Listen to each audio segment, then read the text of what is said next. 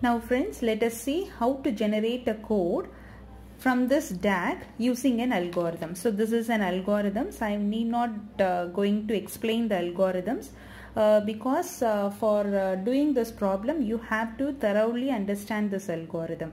So here the intention of this session is just to uh, solve the problem not to explain this algorithm. So please keep the algorithm uh, in side by side while solving this problem. And please do understand this algorithm. Okay so let us um, continue. The first thing is procedure is generating the n. So n is normally the root is taken as n and the left child is taken as n1 and the right child is taken as n2 okay so whenever you see a gen code it means that you are generating a code with respect to the root. So root always be considered as a n and the left is considered as n1 and the right is considered as n2. So uh, for this case the label of uh, n1 is 1 and label of n2 is 2 and hence it is uh, belonging to case 2. So here I have I highlighted the procedure for each case. So these procedure alone will help you to generate the code. So as you all know the total number of uh, registers that you need is 2 and hence in the stack there will be the two registers. One is R0 and R1. Okay. So with this let us see the so for the first case of gen code it belongs to case 2. Why it is belonging to case 2? You please read out the case 2 then only you will maybe easy to understand. So first thing what you have to do is you have to swap the two registers. So the first thing you have to swap the two register. So in the stack you are having the two registers. Now you are going to swap it. So while swapping R1 will be the R0 will be the top of the stack okay and below R1 will be that.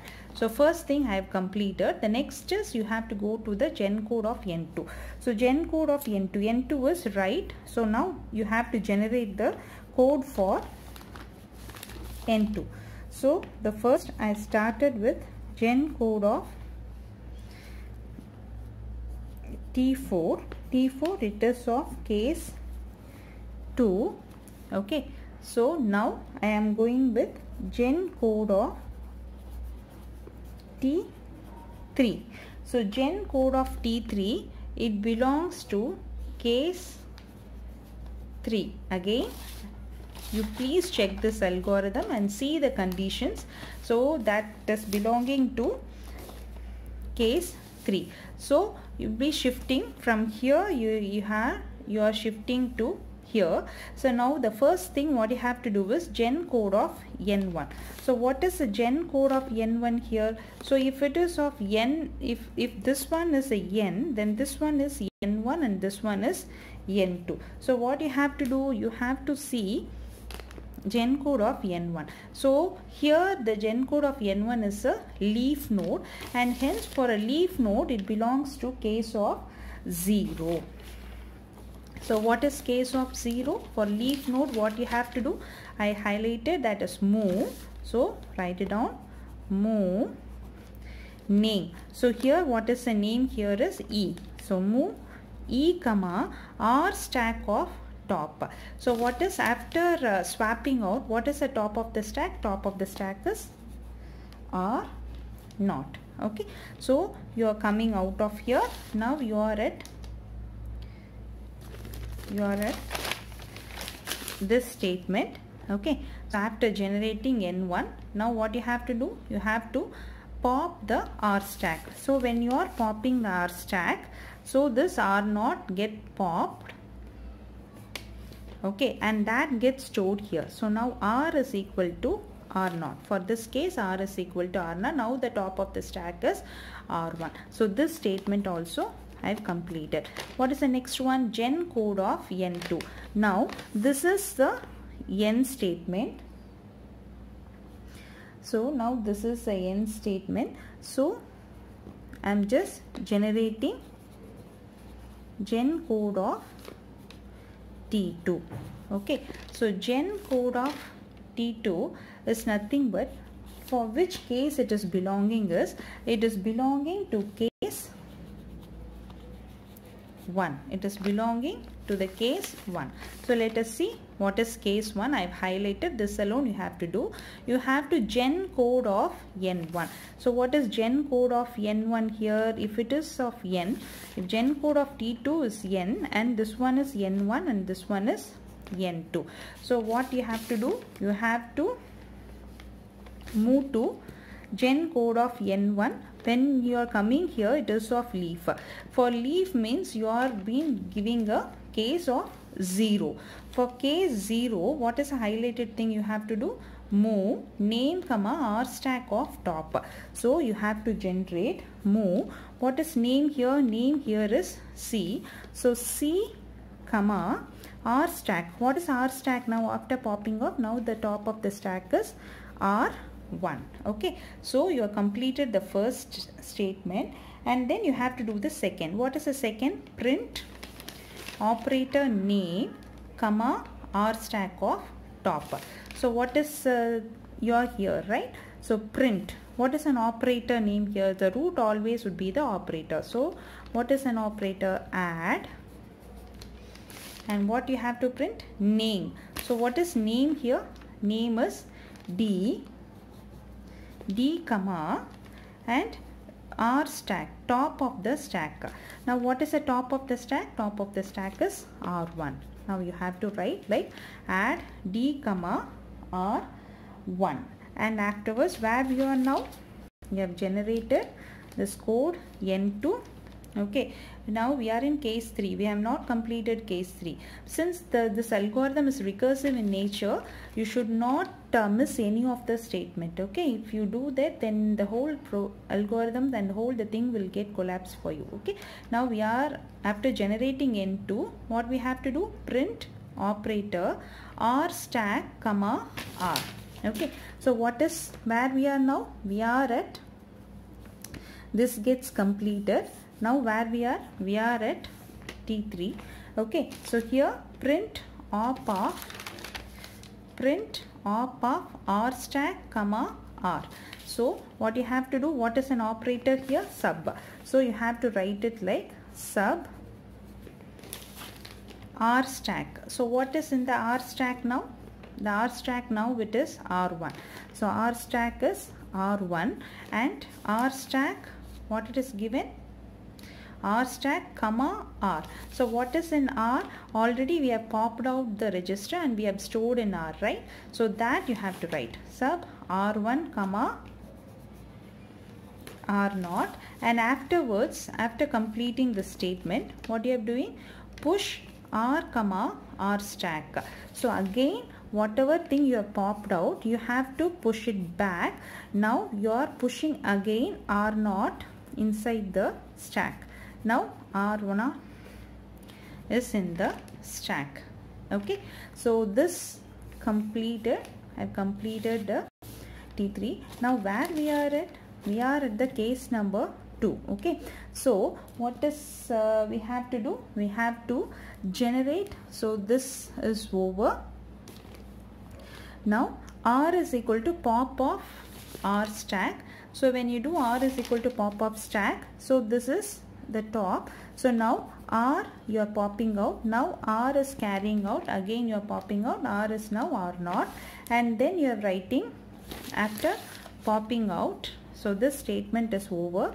Now you have to go for gen code of now we are at gen code of n1 so for T4 what is an N1 N1 is here. So you have to generate the code for T1 so gen code for T1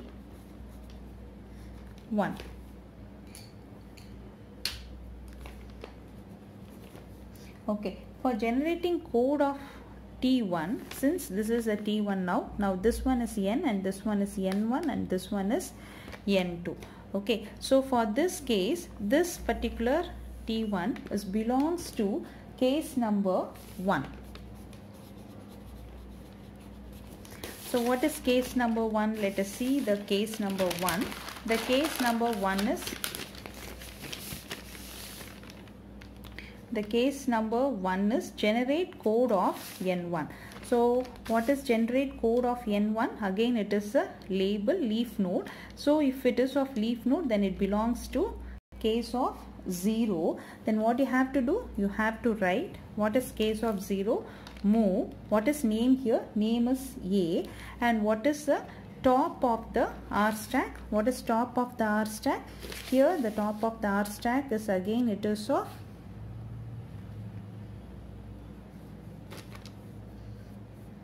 R stack is R, R1. So, since we have popped out, so R stack is R1. Okay, and the next what you have to write? You have to write a print since it is of case 0. Next one is print op name comma R stack of tap.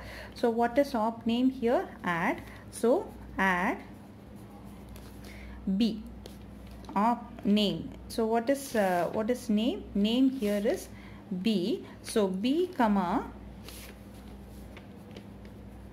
r stack of r1 that is nothing but r1 so this so we come out of this. So this is also over. What is the next one? Next one is print op of r comma r stack of top. So what is op here? Here we are at t4 right? We are at the root.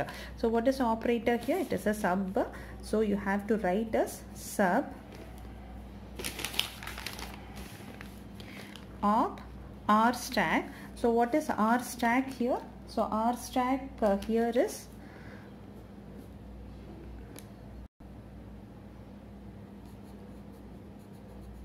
comma r naught. So so this this is also completed. And after doing this what you have to do you have to push r comma r stack. So while you are pushing so this one sorry a small mistake I did. Op for this case print op r. So what is the stored in r? R you have stored r naught and stack top of the stack is R1 because I popped it out and stored R0 in R right? Now what you have to do you have to push it again. So while push it again what happened? This R0 is again pushed inside the stack and the last statement be swap. So you have to swap it again. So when you swap it again again the stack initially you took the stack like this okay? So after using all the register you have made all the registers again into the stack. So this is what the initial case you have started and that's all. And this is the code generated with this algorithm okay. So if you write the code alone it would be like this. Move e comma r naught. Move c comma r1 add d comma r1 sub r1 comma r naught move a comma r1 add b comma r1 sub r naught comma r1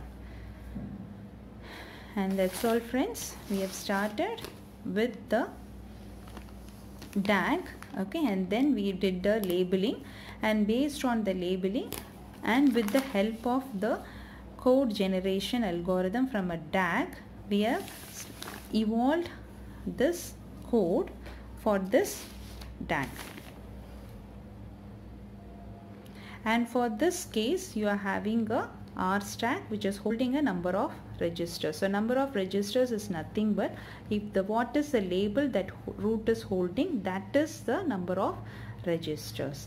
And that's all guys it is very simple and interesting to generate a code from a DAG the only necessity is you have to remember you have to understand all this cases of the algorithm.